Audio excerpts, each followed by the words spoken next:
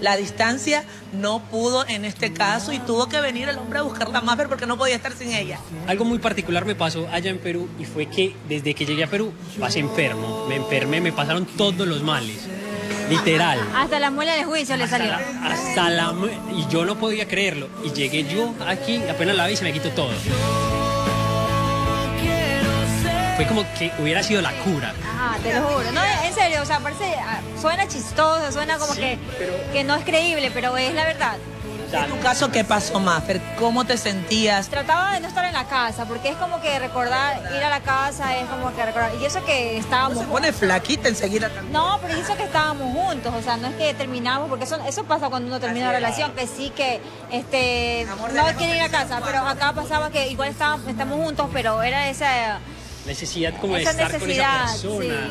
O sea, yo la llamaba todos los días, yo mi amor, te extraño mucho, cuando nos veíamos era por, por el celular, era como mi amor. Yo besaba el celular pensando que era ella. Yo besaba el celular pensando que era ella.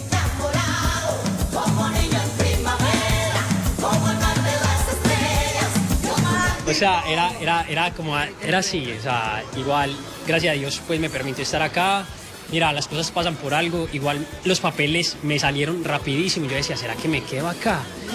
Entonces, mira, uno en la vida tiene que tomar decisiones y yo creo que el amor solo llega una vez.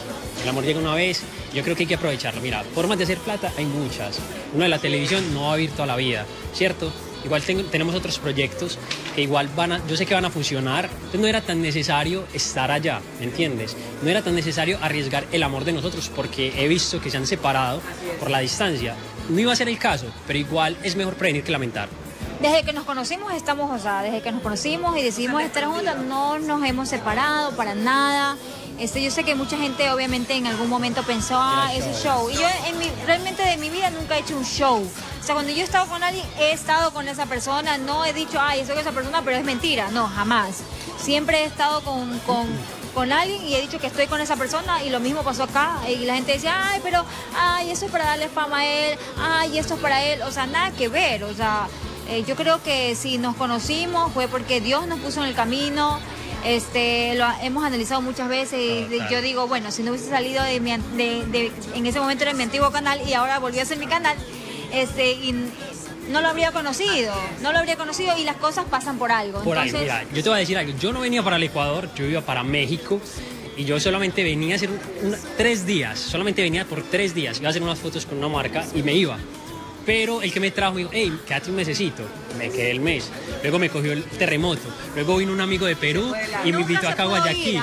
y nunca me pude ir. Luego Maffer y ya te quedaste. Y luego Maffer, luego me quedé. Y yo tenía mi, o sea, yo tengo mi negocio allá en Colombia, tenía toda una vida allá en Colombia y todo se fue dando para conocerla a ella.